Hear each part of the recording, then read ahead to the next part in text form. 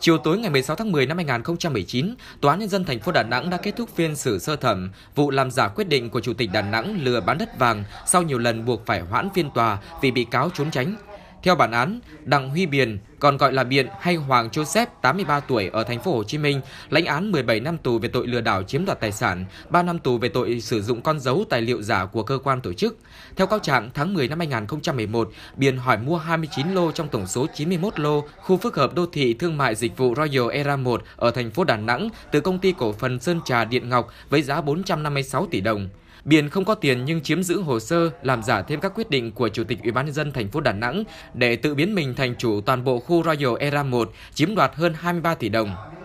Trong đó, Biền ra giá chỉ 60 và 65 triệu đồng một mét vuông, rẻ hơn thị trường để dụ nhiều người đặt cọc. Đây là vụ án gây tốn kém rất nhiều công sức cho cơ quan điều tra, tố tụng bởi Biên rất ngoan cố với kinh nghiệm hai lần phạm tội lừa đảo. Biên từng dùng thủ đoạn khai man lý lịch, giả danh thượng tá để chiếm đoạt tài sản thụ án tù giai đoạn